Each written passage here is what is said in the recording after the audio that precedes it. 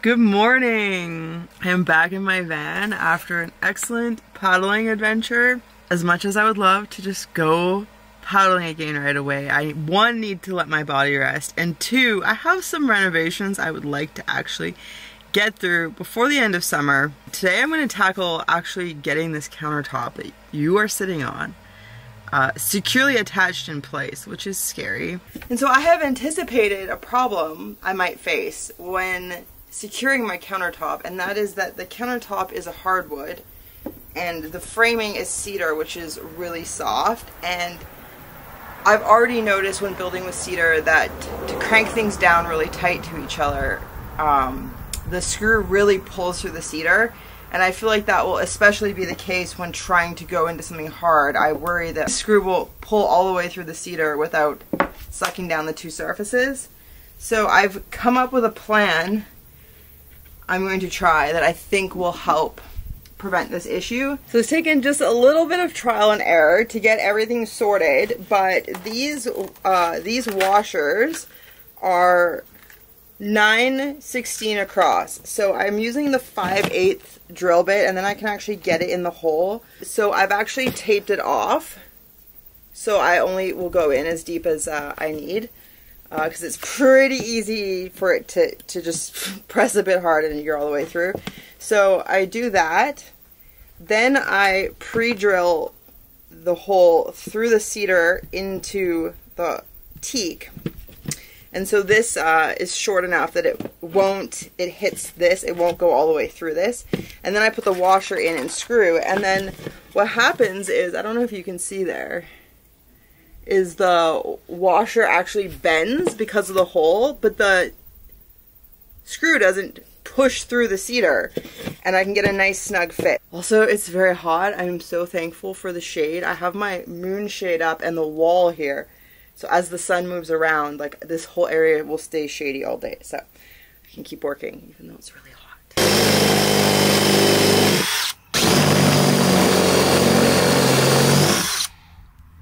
It was drilling fine before and now it's not. And it's, smoking. The wood is black. Oh, it's too hot out to do this. That's freaking weird. Okay, I'll just keep trying. Ready to go.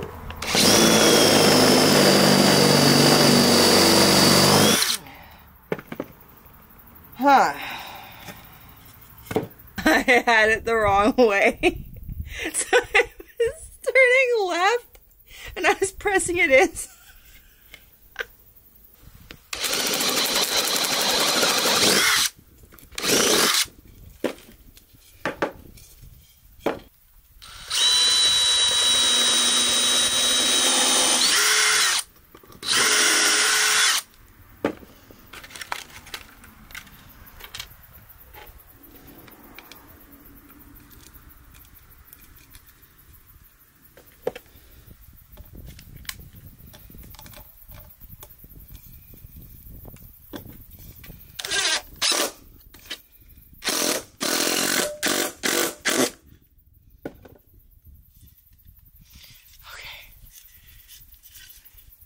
Snug and secure.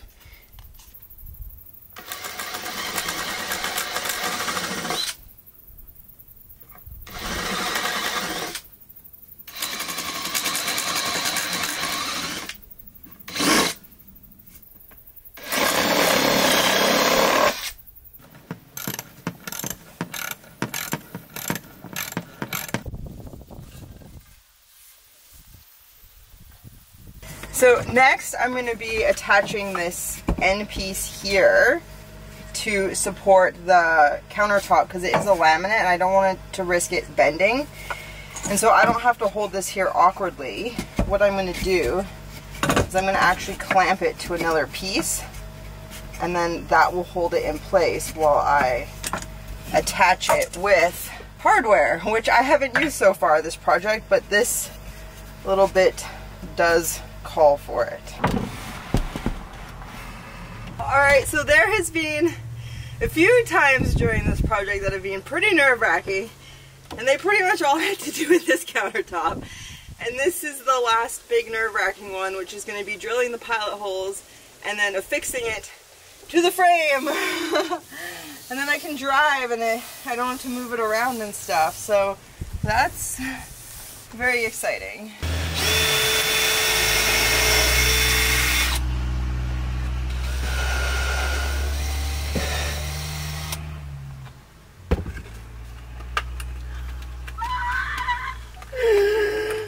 Oh my god, I feel sick.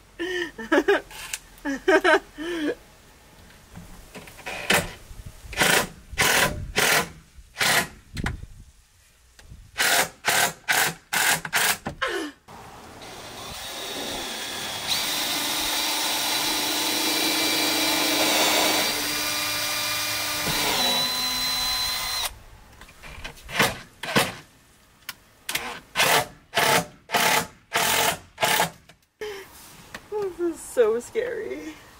Oh, so I got uh, three screws in and they haven't gone through the top and it sucked down the countertop. So that's really good.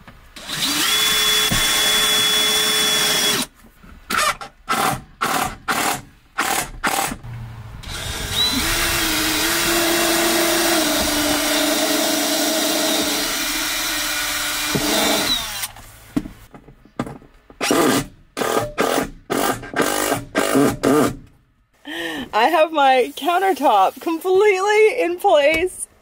It's so secure. It's sucked down to the frame. Nothing came through the top. I am so proud of myself for designing this whole setup on my own, building it, and then anticipating the potential issue of securing a hardwood to a very soft wood and coming up with a solution before I messed up to make it all work. So I am so stoked. So the next thing I'm working on is in here, there has to be an interior wall between the drawer section and where all like my uh, pots and pans and stuff will go. And look what I've come up with to figure out how to get the drawer slides even on both sides. I just have it sitting on this 2x6 on both sides. That should be good enough. It should be pretty level and pretty even with each other. And then what I'm going to do is then I'm going to put these just to make a little barrier so things can't slide from there into here and get in the way of the drawers. I think that's a pretty simple and elegant solution uh, that should serve its purpose and uh, if not I can redesign later but it feels good to like kind of like feel like things are moving along at a quicker pace now that I've done like the hard work in the initial framing of like preparing for all these steps.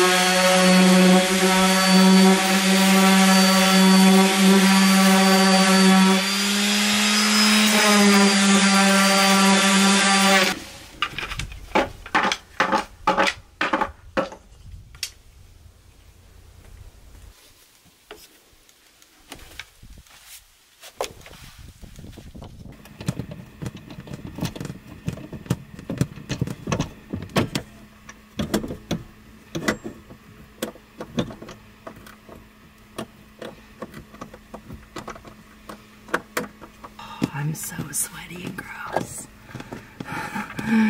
Heat wave construction. Look at you. You could be inside being comfortable and you're out here supervising.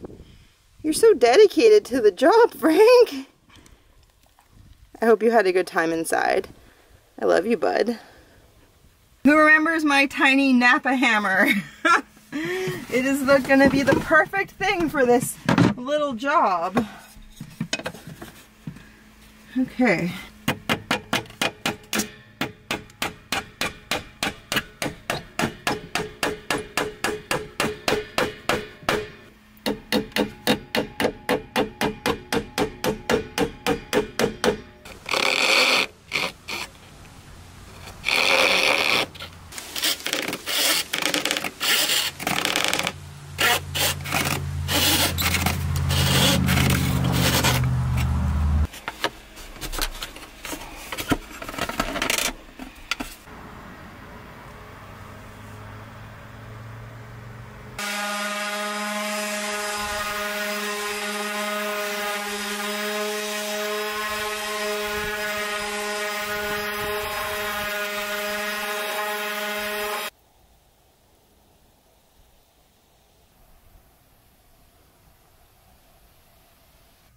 Well, I got a lot more done than I expected today. I'm very pleased with my progress in the heat, but I'm so stoked to be sitting at my desk working with it actually attached. I've worked it here a couple times, but like it wasn't finished, didn't have the hard wax oil on, it wasn't fixed in place. This is my permanent work location and it's gonna be hours so it's cool enough for me to comfortably sleep. So I'm just gonna work on editing. Yeah Frank is in the bed cozy sleeping. I am not in his way. I can watch him sleep while I work. Yeah that is it. And um, by the time I wake up tomorrow it's gonna be hot and I'm gonna keep working on this. Yes, I'm very stoked and I'm just gonna hang out tonight and edit until it's cool enough to sleep. So I will see you in the morning. Good morning. If you wanna go for a little walk today, we gotta go soon before it gets hot, Frank.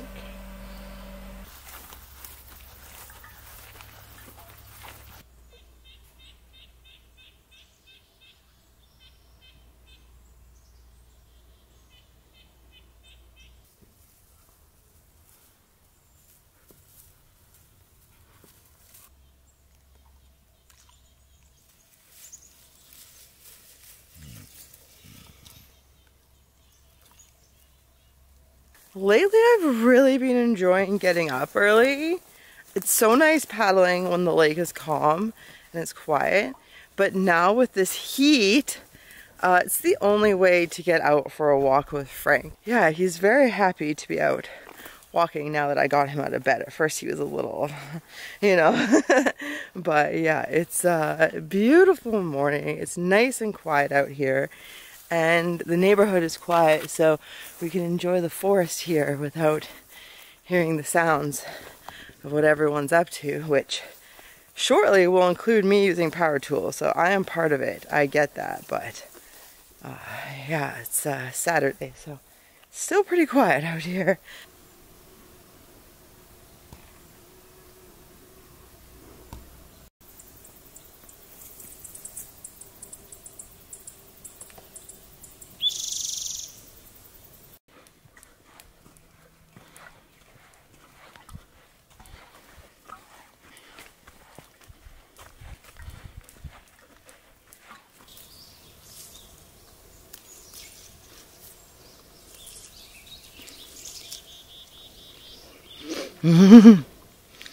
mm.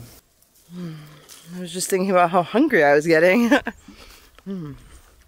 Speaking of hunger, you know what I'm always hungry for? Skills. I absolutely love learning new skills, and over the years, I have saved so much money learning to do things for myself, and I feel like it builds a lot of character. And there's instances where learning to do things for myself allows me to have a better end product than if I paid someone else to do it and tried to to communicate exactly what I wanted, which is why I am such a big fan of today's sponsor, Skillshare. If you have a specific skill you're trying to learn, Skillshare is the perfect place to start from photography and illustration to graphic design, freelancing, productivity, woodworking, sewing, and all sorts of other fine arts, and much, much more, you can find classes that will match your goals and interests. So whether you're interested in making a career pivot or leveling up your skills in your current role, Skillshare is a great resource for freelancers and entrepreneurs to help you learn new skills to support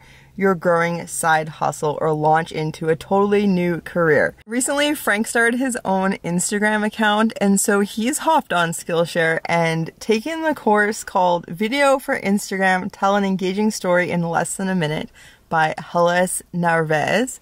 And I gotta tell you, his reels are really good. He, they perform even better than mine and his account is way smaller. So it really helps that Skillshare is ad free. So there's no distractions. You can just stay in the zone and focus on learning. And there's new premium classes launched each week. So there's always something new to discover. If you're interested in checking out Skillshare, the first 1,000 people to use the link in the description below will get a one month free trial of Skillshare.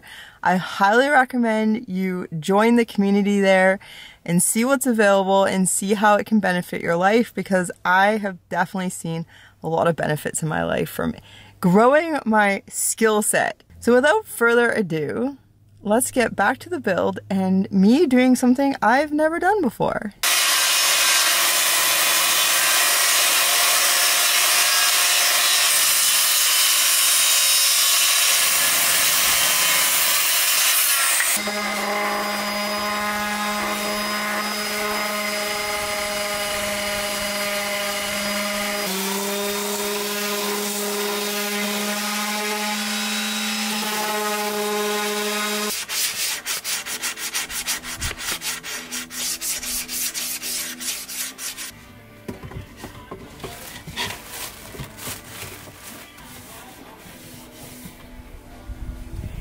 Well, I guess I got a little carried away with the cutting because I am low in that corner.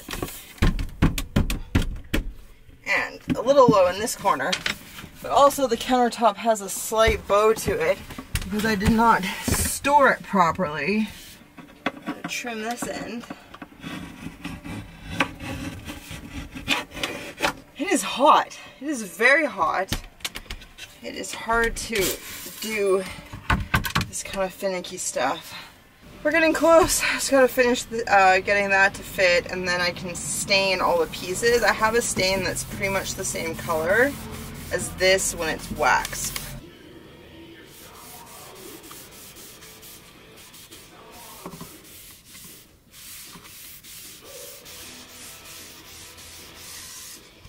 So I'm at a point where I would really like this to be done, but I don't want to rush it and I want this to be purple. I have to do a cut first though. Um, what this is going to be is, uh, I have like a cubby. It's just going to have a curtain. It's going to have like pots and stuff. So I need like a little safety wall so things can't like slide out. Uh, so I just did those cuts on that saw. And then I'm going to use the skill saw to like join them. that way I can clamp and I don't have to hand saw.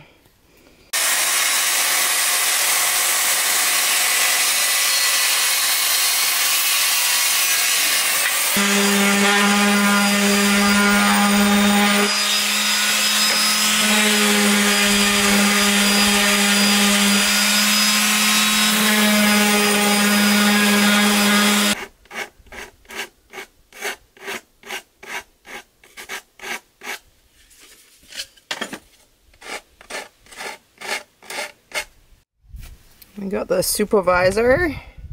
Too hot to uh, leave the shade of the work area. You're doing a great job, Frank. Wonderful. Spectacular, bud. Spectacular. So this piece of plywood here, I cut it from one of the old doors, sliding doors on the unit I pulled out of here at the start of this project. Uh, I'm trying to make use of the old materials. I haven't done a lot of that so far, but I have a bunch of ideas coming up that will make use of them. And then what I don't use, I will squirrel away for who knows what ideas I come up with in the future or what else gets built around here. So, oh, it's like drying faster than I can paint it on. That is something I've experienced before. The last two days of building in the heat have really taken it out of me and then I've been up late editing because it's just hard to do that kind of work in the heat. And this morning it was like a nice temperature. I slept until 9.30. It's pretty warm out now, but I don't think as hot as the last two days. And so I've just been having the laziest morning in my van. Just like drinking coffee and having chocolate. It's a Sunday, so like so many people I enjoy have put out videos today. And I'm in no rush to do anything productive. And once I'm done watching videos, I might just have to clean up my construction mess and go do something a little more fun because I'm just not inspired to build There's a new video by Wild We Roam today, so I'm gonna watch somebody else build. actually pretty level. I'm happy with that.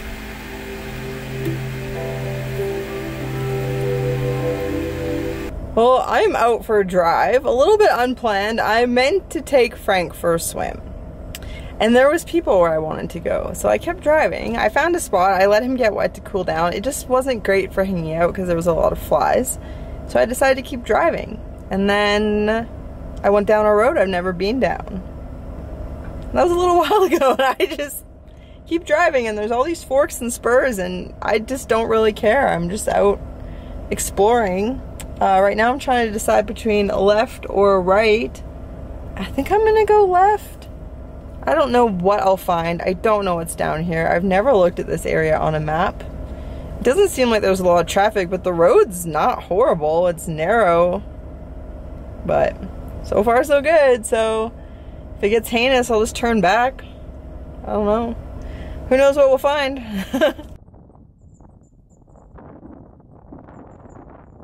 I was thinking this spur was a little undriven. I hit the end of it pretty quick. But, you know, I figure at the least, if I don't find anything fascinating out here, uh, I'll at least know not to come back. But more importantly, it's a good test run of my build to uh, go romping and uh, just like, yeah, drive some rough roads and bounce around a bit. Anyways, it's just clear cuts. So we'll see what's down the other way.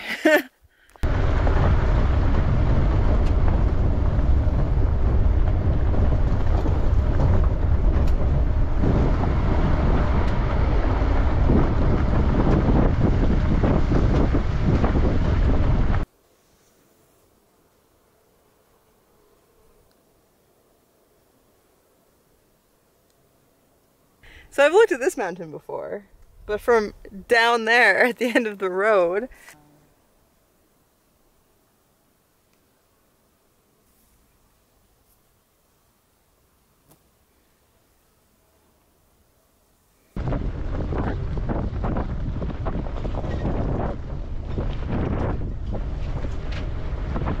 Well, there started to be cross ditches, and the cross ditches got worse. And one of the last ones was pretty rough. So I got to this wide part of the road where I could actually turn around because that is one of the dangers of backroading in this van is that I can get to places that I can't turn around and it leads to long backing outs or really stressful attempts at turning around. So I stopped, I walked up the road, it ends in like half a kilometer or it becomes impassable for my van, appears to end but um, somebody who's like kind of reckless with a 4x4 like might consider going forward. So yeah, that's it for this side of the valley.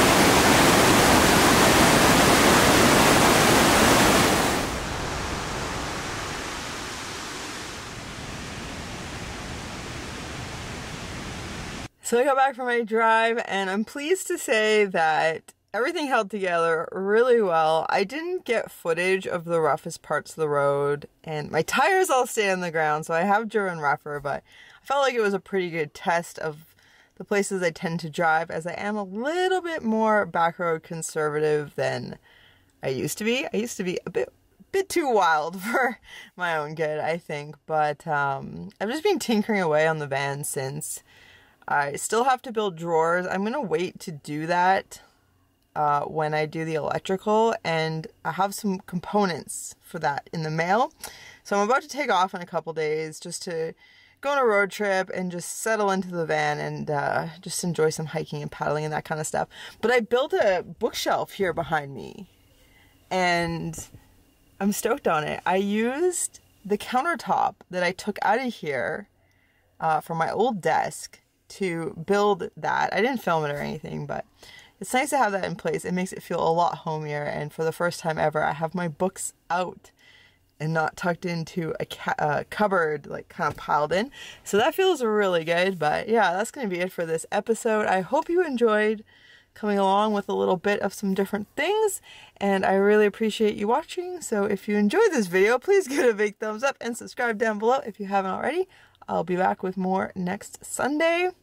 And we'll see you soon. Bye